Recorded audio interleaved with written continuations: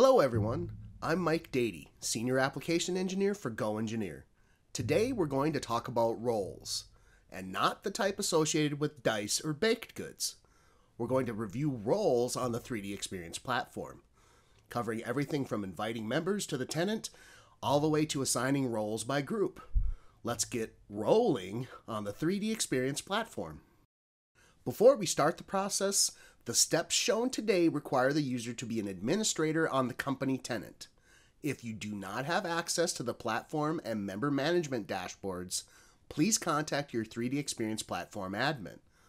If you are the platform admin and cannot access these dashboards, please contact GoEngineer Technical Support and they can help resolve the issue.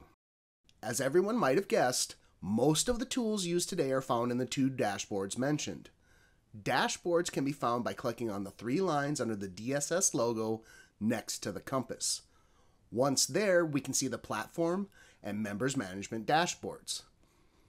Go ahead and select the members management dashboard or go to the members tab of the platform management dashboard.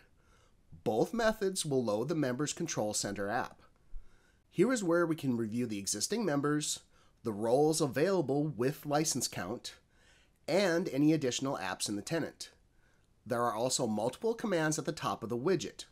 We're currently in the Invite and Grant Roles section, and currently I am the only member of the tenant. Let's look at a couple settings that impact licensing on the 3D Experience platform.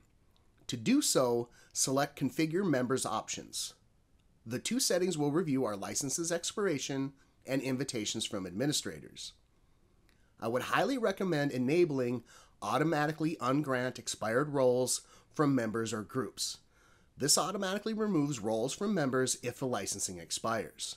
This will eliminate any errors when trying to access the 3D Experience platform.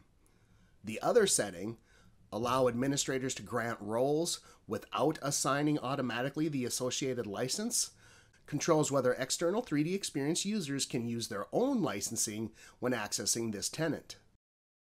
Let's go back to the invite and grant roles and look at my member information. Each role represents the licensing purchased and grants access to certain applications that perform functions on the 3D Experience platform.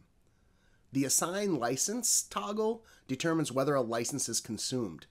If enabled, a license from this tenant will be used. If disabled, the external member will use their license from another tenant. Restrict usage to the platform controls whether the license for that role can be used on another tenant. Enabling the option will restrict the license to only be used on this tenant. Disabling the option allows the license to be used on another tenant. Currently, the only role assigned to me is 3DSwymer and is the entry role needed to access the tenant. If we click on the View All button, we can see all the roles available. If there is an abundance of licenses, we can search by role name or the trigram for the role, like UES for Collaborative Designer for SOLIDWORKS. Before granting the role, make sure to set the licensing options for the role, then select the corresponding checkbox. I'll add the Collaborative Designer for SOLIDWORKS role. When I do, a window opens stating the Collaborative Industry Innovator will also be granted as it is required for the Collaborative Designer role.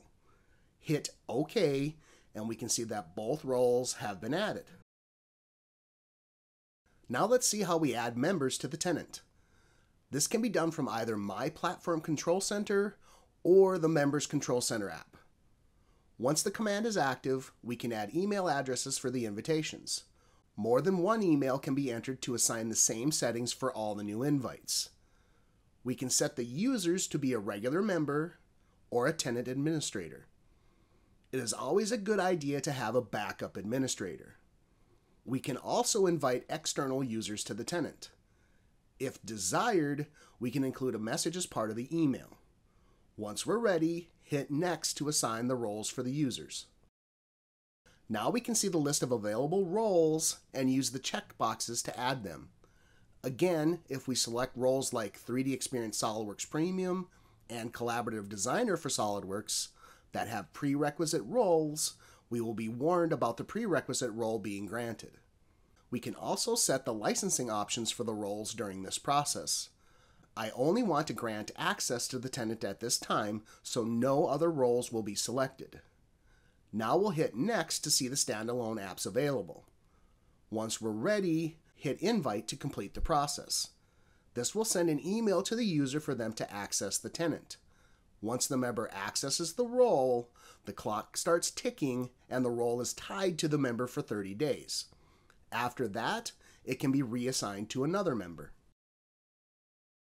Now we'll look at other methods to assign roles for members. Users can request roles from the administrator using the compass under the Company section. When selected, a list of available roles is displayed.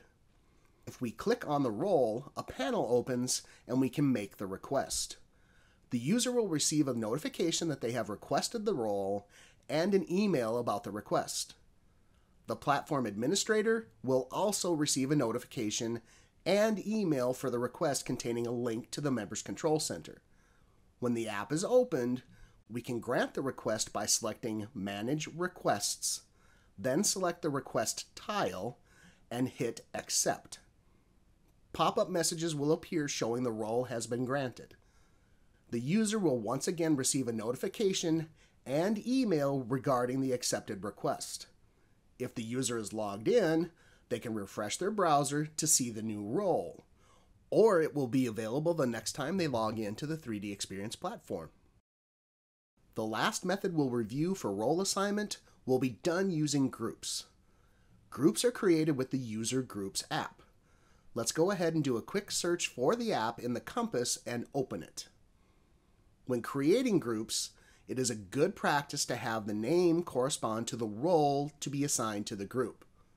We'll create a new group called Project Planner, give it a description, and hit Create to add the group. This will open a new panel for the members of the group. Now let's add some members.